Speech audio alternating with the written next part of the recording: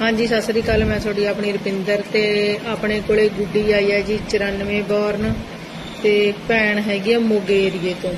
ਕੁੜੀ ਦੀ ਪੜ੍ਹਾਈ ਵੀ ਵਧੀਆ ਕਰੀ ਹੋਈ ਹੈ ਬੀਏ ਐਮਏ ਕਰੀ ਹੋਈ ਹੈ, ਮੁੰਡਾ ਵੀ ਘੱਟੋ ਘੱਟ ਬੀਏ ਤਾਂ ਹੋਵੇ।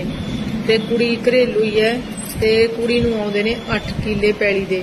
ਤੇ ਆਪਾਂ ਨੂੰ 10 ਕਿੱਲੇ 12 ਕਿੱਲਿਆਂ ਚ ਮੁੰਡਾ ਚਾਹੀਦਾ ਹੈ। ਮੁੰਡਾ ਜ਼ਮੀਨ ਘੱਟ ਨਾ ਹੋਵੇ ਜੀ, ਸੰਪਰਕ ਕਰੋ, ਮੈਨੂੰ ਕਮੈਂਟਾਂ ਦੇ ਵਿੱਚ ਹੀ ਦੱਸ ਦਿਓ ਹਾਂਜੀ, ਸਤਿ ਸ੍ਰੀ ਅਕਾਲ, ਮੈਂ ਤੁਹਾਡੀ ਆਪਣੀ ਰੁਪਿੰਦਰ ਤੇ ਆਪਣੇ ਕੋਲੇ ਬੀਐਡ ਕੁੜੀ ਆਈ ਹੈ ਜੀ, ਜੱਟਾਂ ਦੀ 8-10 ਕਿਲਿਆਂ ਦੇ ਵਿੱਚ ਮੁੰਡਾ ਚਾਹੀਦਾ ਇੱਧਰ ਸਾਡੇ ਏਰੀਏ ਦੇ ਵਿੱਚ ਹੀ, ਲਵੇ ਡੇਲੋਂ, ਅਹਿਮਦਗੜ੍ਹ ਮੰਡੀ, ਧੂਰਕੋਟ, ਰਾਏਕੋਟ, ਇੱਧਰ ਨੂੰ ਲੱਲੇ ਭੱਬੇ ਜਿਹੜੇ ਸਾਡੇ ਲਵੇ ਲਵੇ ਪਿੰਡ ਨੇ, ਇੱਧਰ ਨੂੰ ਕਰ ਦੇਣਗੇ ਜੀ 8-10 ਕਿਲਿਆਂ 'ਚ ਚਾਹੀਦਾ ਹੈ। ਜੱਟਾਂ ਦੀ ਕੁੜੀ ਹੈ 91 ਦਾ ਬੋਰਨ ਹੈ ਜੀ 91 ਦਾ ਜਨਮ ਹੈ, ਤੇ ਵੀਡੀਓ ਨੂੰ ਕਰ ਦਿਓ ਤਾਂ ਹਾਂਜੀ, ਸਤਿ ਸ੍ਰੀ ਅਕਾਲ। ਮੈਂ ਤੁਹਾਡੀ ਆਪਣੇ ਰੁਪਿੰਦਰ।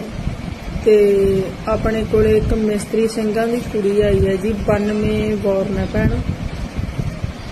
ਤੇ ਕੁੜੀ ਹੈਗੀ ਹੈ ਫੌਜੀ। ਤੇ ਆਪਾਂ ਨੂੰ ਮੁੰਡਾ ਵੀ ਫੌਜੀ ਹੀ ਚਾਹੀਦਾ।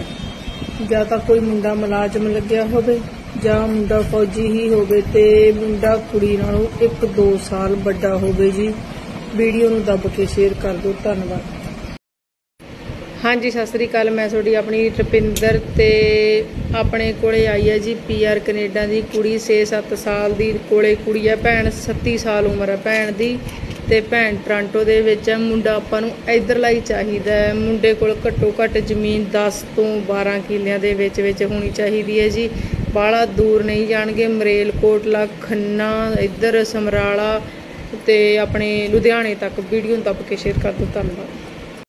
ਹਾਂਜੀ, ਸਤਿ ਸ੍ਰੀ ਅਕਾਲ। ਮੈਂ ਤੁਹਾਡੀ ਆਪਣੀ ਰੁਪਿੰਦਰ ਤੇ ਆਪਣੇ ਕੋਲੇ ਗੁੱਡੀ ਆਈ ਹੈ ਜੀ 94 ਬੋਰਨ ਤੇ ਭੈਣ ਹੈਗੀ ਆ ਮੋਗੇ ਏਰੀਏ ਤੋਂ। ਕੁੜੀ ਦੀ ਪੜ੍ਹਾਈ ਵੀ ਵਧੀਆ ਕਰੀ ਹੋਈ ਹੈ ਬੀਏ ਐਮਏ ਕਰੀ ਹੋਈ ਹੈ। ਮੁੰਡਾ ਵੀ ਘੱਟੋ ਘੱਟ ਬੀਏ ਤਾਂ ਹੋਵੇ। ਤੇ ਕੁੜੀ ਘਰੇਲੂ ਹੀ ਹੈ ਤੇ ਕੁੜੀ ਨੂੰ ਆਉਂਦੇ ਨੇ 8 ਕਿੱਲੇ ਪੈਲੀ ਦੇ। ਤੇ ਆਪਾਂ ਨੂੰ 10 ਕਿੱਲੇ 12 ਕਿੱਲਿਆਂ ਚ ਮੁੰਡਾ ਚਾਹੀਦਾ ਹੈ। ਮੁੰਡਾ ਜ਼ਮੀਨ ਘੱਟ ਨਾ ਹੋਵੇ ਜੀ, ਸੰਪਰਕ ਕਰੋ। ਮੈਨੂੰ ਕਮੈਂਟਾਂ ਦੇ ਵਿੱਚ ਹੀ ਦੱਸ ਦਿਓ।